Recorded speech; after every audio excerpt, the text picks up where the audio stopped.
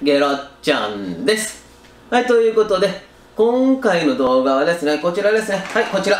あれは、あの、いつもののね、冷凍食品になるんですけども、今回はこちらの冷凍食品、遠藤商事さんで購入してきました。そしてね、購入してきたのはね、海苔巻きチキン。海苔巻きチキンっていうね、冷凍物、業務用の、あの、食材ですね。今回この種ね、あの、海苔巻きチキン、ね、遠藤商事さんから購入してきた海苔巻きチキンを今回は食べてみたいと思います。ではね早速ねもうねこちらにねハサミがあるのでね巻きます。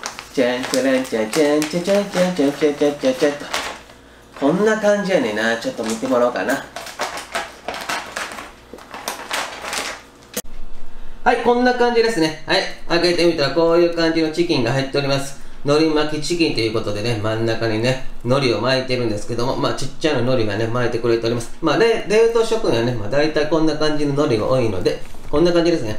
はい、こちら。こちらはね、これからね、あのー、油でね、サラダ油で揚げて食べていきたいと思います。こんな感じ。こんな感じをね、遠藤商事さんで購入してきました。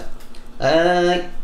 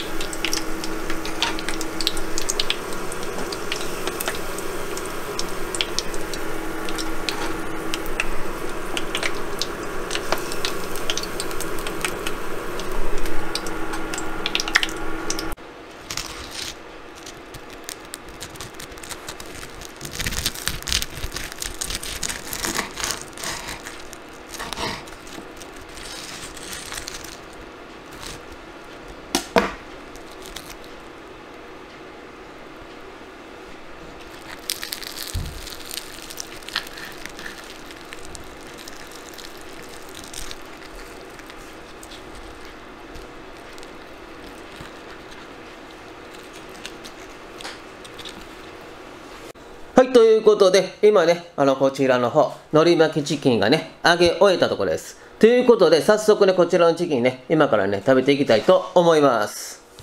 じゃあね、早速ね、食べていくね。まず、これですね。はい。いただきます。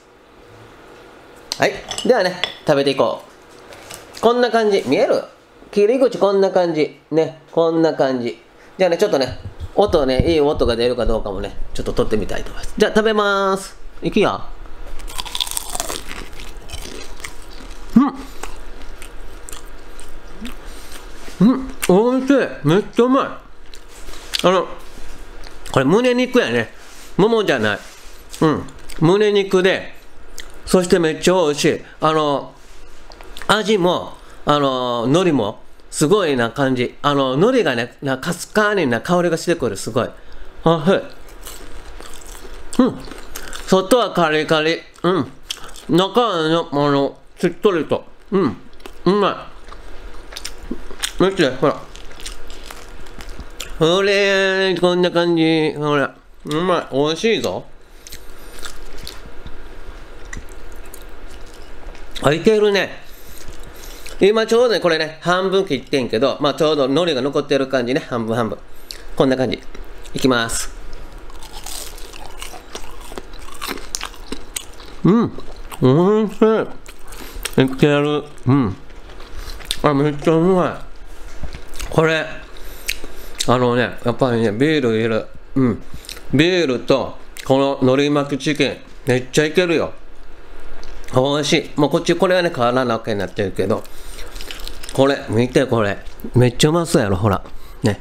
いただきます。ああ。うん。うん。うん。うまい。うん。うん。いける。うん。そして、口の中にね、うん。いい感じの油が広がってくるし、衣もあのそんなに味付けされてないから海苔の香りがちゃんとする。うん。あのねたまにね衣にねすごいねあの味付けしてる時素材の味がね台無しの時あるんやけどこれは衣にそんなに味付けてないから本来のこの鶏肉と海苔が、うん、口の中に広がって美味しい。これはねいけますね。非常に美味しいと思う。うん。またこれねあの再度購入して食べたいという気持ちになります。まあ、あの中にはね美味しくないやつなんだけど今回はこれねすごく美味しいです。だからね皆さんもね一度ねあの海苔巻きチキンね見かけたら購入してみたらいかがでしょうか。ゲロッチはねあの遠藤商事さんというところで購入させていただいております。あの大阪の方はね多分、知ってると思うんでまた遠藤商事さんね行ったらこのチキンね一度買ってみてゲロッチョンがねあの言うてるのが本当なのかどうかね自分のねこの舌で試してみてください。ということでね今回はこの遠藤商事さんで買った海苔巻きチキンを食べてみましたということでね今回ねあの評価はねあの星5つのうち4つね4つですねあの、今回からね、ちょっとね、星もね、つけていこうかなと思っております。星5つのうちの4つ。ね。ということで、今回は美味しく食べさせていただきました。